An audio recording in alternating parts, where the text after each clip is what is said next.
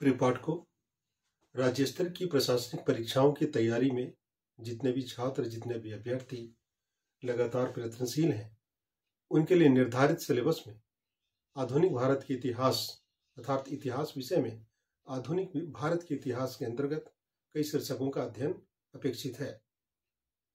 आज मैं उसी हिस्से से, उसी शीर्षक से आपको एक शीर्षक आपके समक्ष रखने की कोशिश कर रहा हूँ। और ये राष्ट्रीय आंदोलन से जुड़ा हुआ एक आंदोलन का नाम है, जिसे होम रूल आंदोलन का नाम दिया गया है। अर्थात बीसवीं शताब्दी के पहले अर्थात दूसरे दशक में सक्रिय हुआ यह आंदोलन किस तरीके से भारतीय राजनीति को एक नई दिशा दे गया, उस पर चर्चा केंद्रित होगी। तो मुख्य परीक्षा में यदि इसको दृष्टिगत रखते हुए कोई प्रश्न पूछा जाता है तो वो प्रश्न कैसा होगा और उस प्रश्न की व्याख्या कैसी होगी, इस पर हमारी नज़र होगी। तो चलिए मिलकर हम लोग आज इस प्रश्न के व्याख्यान को समझने की कोशिश करते हैं। प्रश्न हो सकता है कि होम रूल से आप क्या समझते हैं? भारत में इसके उदय के कारणों पर प्रकाश डालते हुए बताएँ कि भारतीय स्वतंत्रता संग्राम में इसने किस प्रकार प्रभावित किया, या फिर स्वतंत्रता संग्राम को इसने किस प्रकार प्रभावित किया। तो जब इस तरह का प्रश्न दीर्घोत्तरीय में पूछा जाए तो आपकी व्याख्या बिल्कुल संतुलित और एक अनुशासित तरीके से दिखनी चाहिए। अर्थात, पहले पैराग्राफ में आप भूमिका दर्ज कराते हैं और उसके बाद शेष दूसरे हिस्से में आप पूरी व्याख्यान को केंद्रित विषय पर व्याख्यान को दर्ज कराते हैं और अंत में एक प्रभावपूर्ण निष्कर्ष दर्ज करते हैं। तो चलिए इसकी भूमिका में होम रूल आंदोलन की का वजूद कैसे आया, इसकी भूमिका पर कुछ बातों का लिखना वांछित है। आप लिखते हैं कि भारत के, अर्थात बीसवीं शताब्दी के दूसरे दशक में जो प्रथम विश्व युद्ध का जो असर हुआ, उसके महत्व दो कारणों से देखे जा सकते हैं। पहला कि विश्व युद्ध काल में भारत में क्रांतिकारियों की क्रांतिकारियों की सक्रियता पूरे देश में बड़ी थी, काफ़ी बढ़ गई थी। दूसरी एक और घटना जो इस कालखंड में हुई थी कि देश के अंदर होम रूल आंदोलन एक तरह से विकसित हो गया था। अर्थात मैं बात कर रहा हूँ प्रथम विश्व युद्ध के समय के कालखंड के में उभरे हुए इस लीग के बारे में। तो जहाँ तक होम रूल शब्द को भी समझना ज़रूरी है, उसके बाद इसकी व्याख्या विधिवत समझ में आ सकती है। होम रूल एक आयरिश शब्द है और भारत में इस आंदोलन को जन्म देने का श्रेय एनी बेसेंट को जाता है। जो अठारह सौ तिरानवे ईस्वी में थियोसॉफी का प्रचार करने के लिए भारत आई थी।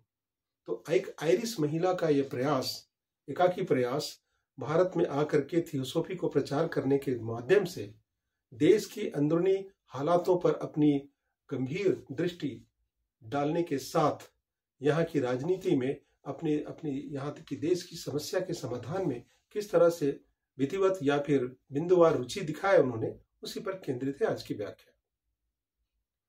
तो भारत में रहने के क्रम में उन्होंने शैक्षणिक गतिविधियों में भी काफ़ी रुचि दिखाई, है ना? और कहा जाए तो अठारह सौ अंठानवे में उन्होंने बनारस में सेंट्रल स्कूल की भी स्थापना की, जो बाद में मदन मोहन मालवीय के द्वारा स्कूल एक यहाँ बी एच यू की स्थापना बी एच यू का नामकरण पा गया। तो ये अलग बात है।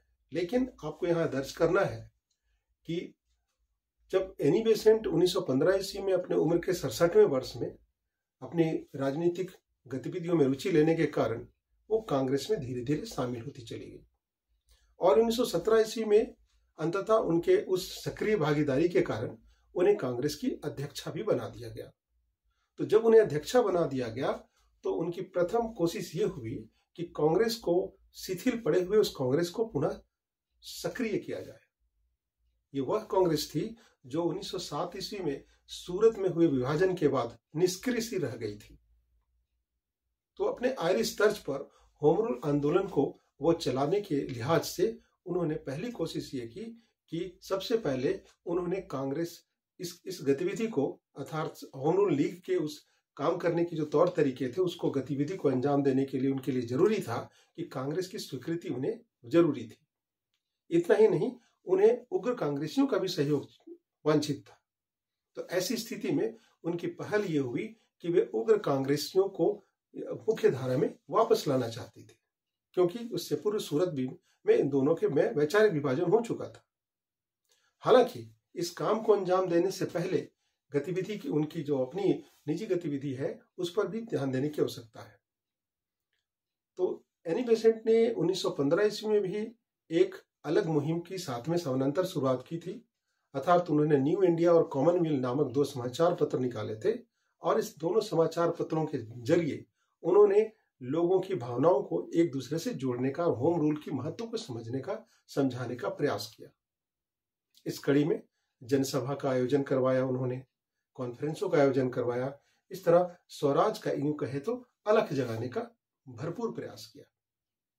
इसी क्रम में उन्हीं के उस प्रयास का नतीजा ये था कि अप्रैल 1916 ईस्वी में बाल गंगाधर तिलक वापस राजनीति में सक्रिय हो गए थे। तो अप्रैल 1916 ईस्वी में पूना में तिलक ने होम रूल लीग की स्थापना कर दी थी और उन्होंने महाराष्ट्र को अपना आधार बना बनाया था।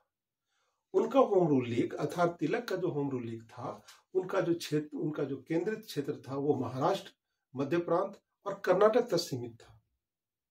वर्ष 1916 ईस्वी में तो लीग के सदस्यों की अगर बात करूँ, अर्थात तिलक के लीग के सदस्यों की बात करूँ तो उनकी संख्या शुरू में 1400 थी, जो कि 1917 ईस्वी तक आते आते, अर्थात उसके प्रारंभ में लगभग उसकी संख्या बढ़कर के बत्तीस हज़ार हो गई। उनके इस सक्रिय गतिविधि को दृष्टिगत रखते हुए एनी बेसेंट ने भी अपने होम रूल लीग को भी उसी तरह से सक्रियता दिखाने का प्रयास किया। और मात्र छह महीने के अंतराल में, अर्थात सितंबर 1916 ईस्वी में, होम रूल लीग की स्थापना भी उन्होंने कर दी, जिसमें वे स्वयं अध्यक्षा बनी, जॉर्ज अरेंडल संस्थापक सचिव बने, सी सी रामास्वामी को उन्होंने महासचिव का दर्जा दिया, इस तरह से बीपी वाडिया को कोषाध्यक्ष का दर्जा दिया। इस तरह दोनों ने एक तरह से परिपक्वता का परिचय देते हुए अपने अपने क्षेत्र को सुनिश्चित कर लिया था। होम रूल की होम रूल की अनिवार्यता पर एनिबेसेंट ने कहा था कि भारत में दो कारणों से होम रूल का होना ज़रूरी है। पहला, कि आज़ादी किसी भी देश का जन्मसिद्ध अधिकार होता है। और दूसरा कारण यह है कि देश का संपूर्ण संसाधन ब्रिटिश साम्राज्य के हितों में लग रहा है और देश अपने संसाधनों का इस्तेमाल अपने हित के लिए नहीं कर पा रहा है। तो इस विषय पर वो काफ़ी गंभीर होकर के अपना विचार अपने कार्यक्रमों के ज़रिए प्रचारित कर रही थी। इसी मुहिम में तिलक ने भी निर्भय होकर के यह घोषणा की कि स्वराज हमारा जन्मसिद्ध अधिकार है और मैं इसे लेकर रहूँगा। जहाँ तक एनिबेसेंट के किए गए प्रयासों की बात की जाए तो एनिबेसेंट ने समाज के नई नस्लों को उभारने के लिए शहरों में अध्यापन कक्षों की व्यवस्था की, बड़ी संख्या में पंपलेट बंटवाए और अतिथि कारखानों का आयोजन किया गया। छात्रों के लिए राजनीतिक शास्त्र की क्लासें लगवाई गई। इसी क्रम में मद्रास के पास अडियार में उन्होंने मुख्यालय भी खोला। देश भर में इतना ही नहीं, उन्होंने देश भर में 200 शाखाएँ अपने संस्थान की अर्थात होम रूल लीग की खोली। और उनके सदस्यों की संख्या भले ही सत्ताईस हज़ार के आसपास थी, जबकि तिलक के लीग के सदस्यों की संख्या तीस हज़ार के आसपास हो गई थी। जून 1917 ईस्वी में इस आंदोलन को उस समय और ज़ोर पकड़ा यह आंदोलन और ज़ोर पकड़ा जब मद्रास सरकार ने एनी बेसेंट को नजरबंद कर दिया था। इस समय मोतीलाल नेहरू तेज बहादुर सप्रू मुंशी नारायण प्रसाद जैसे नेता होम रूल में शामिल हो गए थे और बड़े ही जोरदार तरीके से पूरे राष्ट्र भर में प्रदर्शन किया था इन्होंने। तो कहा जाए तो इस, इस आंदोलन की जो बड़ी उपलब्धि यह थी कि इसने एक तरह से नई पीढ़ी, इस इस आंदोलन में, इस सोच में नई पीढ़ी के हज़ारों लोग नेता जुड़ते चले गए। मद्रास के तमिल ब्राह्मण, यूपी के ग्रामीण, व्यापारी, बंबई के व्यापारी, गुजरात के वकील, इस तरह के लोगों की भागीदारी इस होम रूल आंदोलन से देखी गई। ये सबसे अनूठी खासियत थी इस आंदोलन की कि इस आंदोलन में शस्त्रों के प्रयोग की अनुमति नहीं थी। तो ये कहा जाए कि अंग्रेज़ों के विरुद्ध अपने अस्तित्व की, वजूद की लड़ाई के लिए ये आंदोलन एक तरह से बुद्धिजीवियों को प्रभुत्व करते हुए, उन्हें फ्रंट में रखते हुए आंदोलन को गतिमान देने की कोशिश की गई थी। तो कहा जा सकता है कि भारतीय जनता को सुसुप्तावस्था से जगाकर, जगाना ही इस आंदोलन का कहा जाए तो लक्ष्य रहा था। यह अलग बात है कि ऐसा लीग की, इस लीग में को दक्षिण भारत के मुसलमान एंग्लो इंडियन और गैर ब्राह्मणों के बीच में अधिक समर्थन नहीं मिला। ऐसा इसलिए क्योंकि उन्हें यह लगा था कि यह उच्च वर्गीय हिंदू बहुसंख्यकों का संगठन है। हालाँकि, निष्कर्ष के तौर पर अब आप लिखने की कोशिश करेंगे कि हालाँकि होम रूल आंदोलन अपने लक्ष्य को पाने में भले ही असफल रहा, लेकिन इसने भारतीय राजनीति में कहा जाए तो एक नया वातावरण बनाया। यह वातावरण जनसभाओं का था, प्रदर्शनों का था तो एक तरह से इस तरह की गतिविधियाँ इस कालखंड के बाद एक रूटीन सी बन बन गई। और इसी का तात्कालिक लाभ यह हुआ कि अंग्रेज़ों के द्वारा मॉन्टेग्यू ट्रांसपोर्ट सुधार का अधिनियम पारित किया गया। तो कहा जा सकता है कि 1916 ईस्वी से शुरू होकर 1917 तक इस अल्पकाल में शुरू हुए इस आंदोलन ने एक तरह से भारतीय राजनीति या फिर भारतीय स्वतंत्रता आंदोलन को एक नई दिशा दी। तो आज मैंने होम रूल आंदोलन को केंद्रित करके आपके समक्ष एक व्याख्यान रखा, जैसा कि प्रश्न था कि होम रूल से आप क्या समझते हैं और भारत में इसके उदय के कारणों पर प्रकाश डालते हुए बताएँ कि भारतीय स्वतंत्रता संग्राम को इसने किस प्रकार प्रभावित किया। तो इसको केंद्रित करके आज मैंने यह व्याख्यान आपके समक्ष प्रस्तुत किया। उम्मीद करता हूँ कि मेरा यह व्याख्यान आपको परीक्षा उपयोगी लगेगा और परीक्षा में जब जब भी, चाहे मुख्य परीक्षा हो, चाहे प्रारंभिक परीक्षा हो जो भी प्रश्न इसके संदर्भ से लिए जा सकते हैं, बड़े सहजता से आप इसका जवाब दे पाएँगे। परीक्षा में भी इतना लिख पाना आपके लिए परीक्षा को संतुष्ट कर सकता है।